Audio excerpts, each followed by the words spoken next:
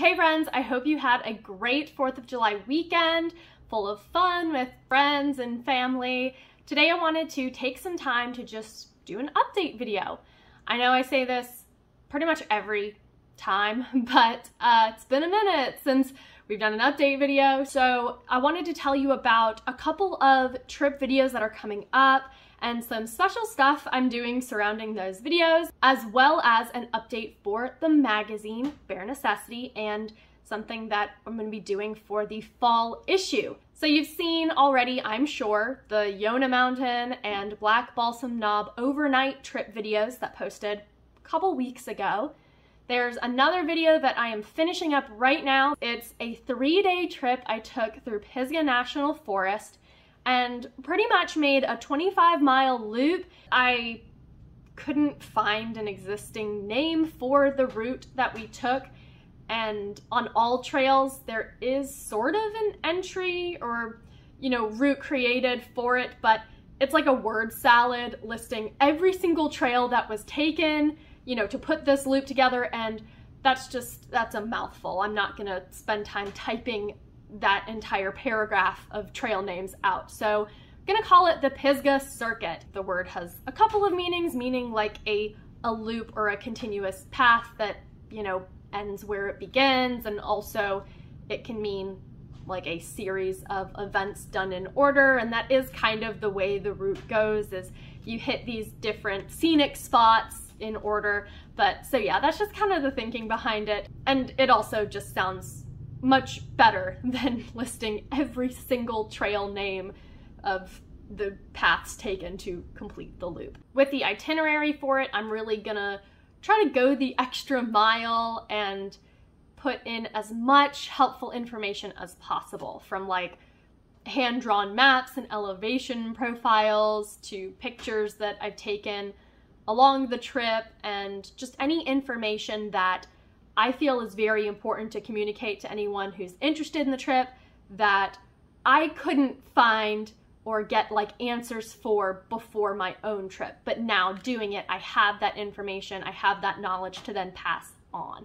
So this definitely is not a trip that I would recommend for beginners just because some of the obstacles, uh, it can be overwhelming if you don't have experience. So gonna put as much into that itinerary as I can and some fun stories that don't show up in the video into that trail journal on the blog.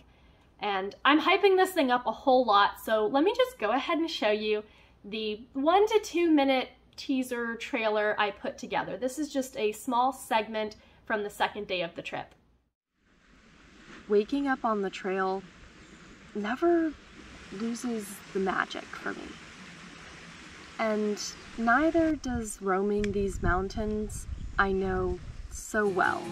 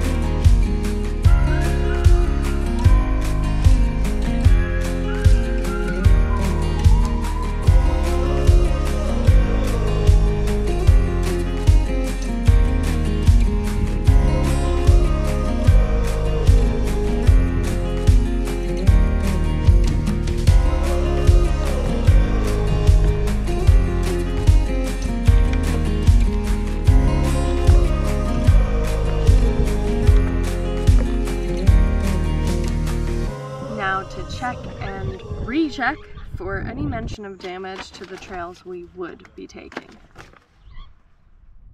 Hopefully that gets you excited to see the full video. Right now it's looking like about 20 minutes. A lot happened and a lot had to be cut to make it like a reasonable length of time that any person would sit through without just you know, getting bored, losing their mind, or wondering how much longer it will be. The last thing I'll say about this trip is I am going to be doing a custom postcard for it.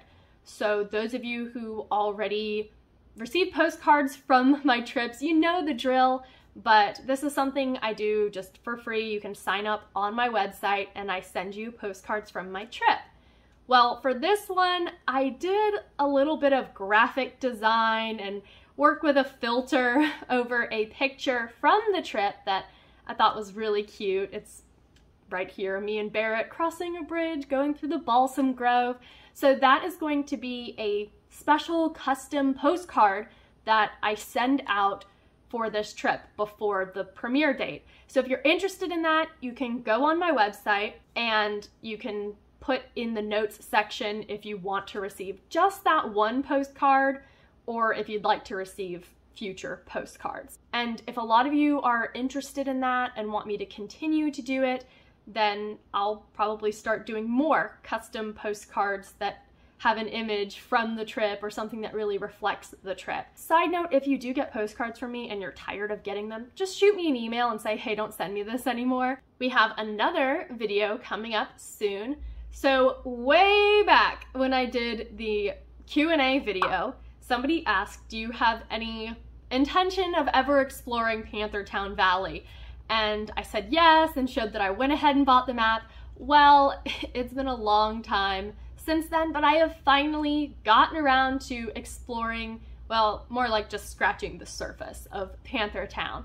So Jordan and I took the dogs for like a base camp trip and we stayed for three days, two nights, and just explored what was in our immediate area near where we were camped.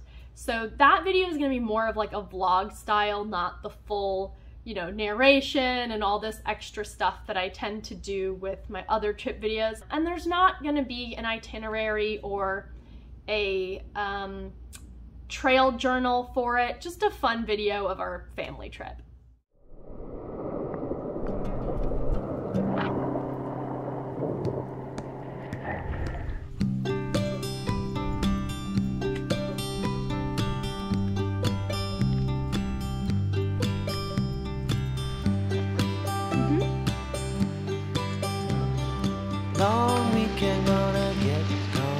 Gonna be free. To sing another silly love song about this crazy weather with me. Stars glisten in the and the black filament. She got a letter with my name on that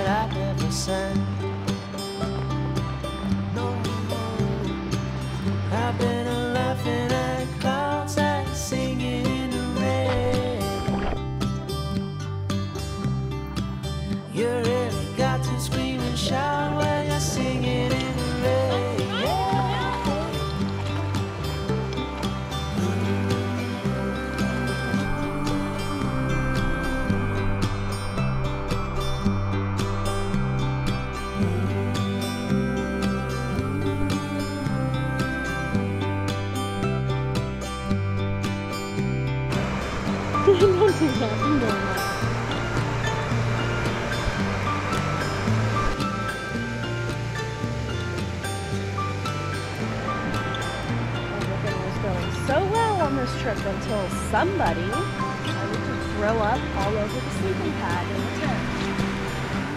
Do you have anything to say for yourself? No, Nora, no. Show some sense of shame. Too bad I didn't bring my bikini.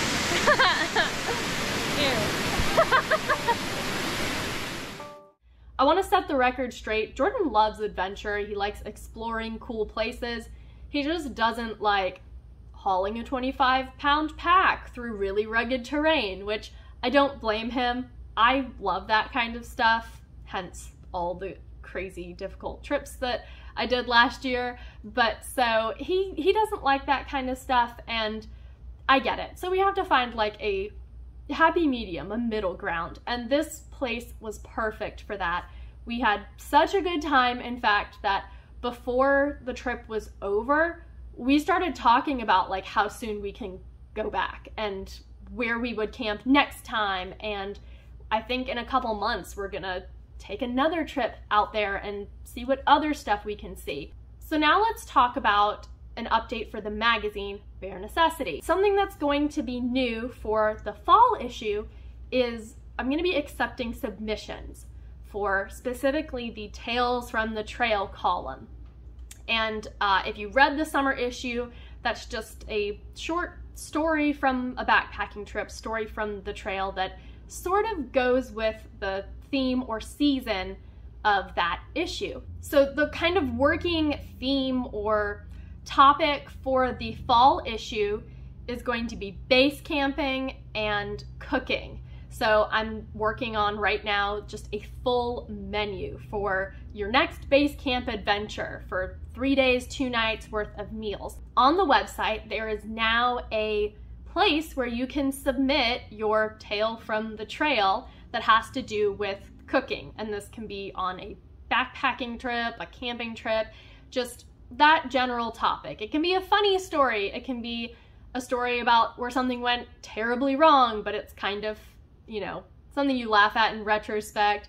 It can be an inspiring story, like maybe you perfected this recipe and it just changed your life, whatever. And there's gonna be kind of like a gear item giveaway for whoever's story is selected. So, in addition to your story being featured in the fall issue and links to ways that the readers can support you, whether that's your social media handles, your channel, your own blog, however that is that they can follow and support you being included in the final column. You'll also receive a surprise gear item that goes along with the theme of the issue. And so it'll have something to do with cooking or base camping. I've got a couple of ideas of what it'll be, just something small to say thank you and something you can put to use uh, from that whole theme that is featured in that issue. The submission window for that is July 1st to July 31st. So last day of July, it will close.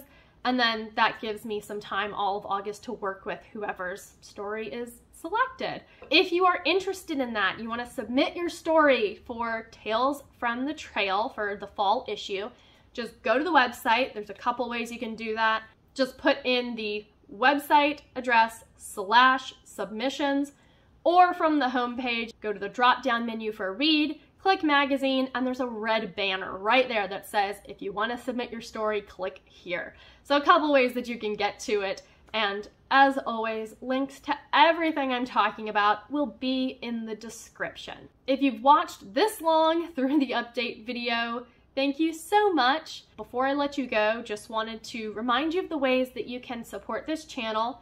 One, you can go subscribe to that newsletter I send out by email every three months. You can also check out my support page on the website where I have some of the itineraries that I have written from trips I've taken. You can also get a subscription to the magazine, which I'm currently working on writing the fall issue for. I'm also now on Buy Me a Coffee, and so the link to that, along with the links from everything else described here today, will be in the description. And uh, I really like it as an alternative to Patreon. We've been over this a couple times. There were a lot of reasons why I did not like Patreon and chose to deactivate it. And so this seems like a really good alternative, just a way that you can show your support. In fact, I believe you don't even have to make an account. There's no like monthly commitment or anything like that. If you just want to donate to the channel, donate to the blog one time, you can go on and do that hassle free. But so thank you so much again for watching. I hope you have a great rest of your day, and I can't wait to see you again next time. Tracing my footsteps through the wind, back to a place where I could.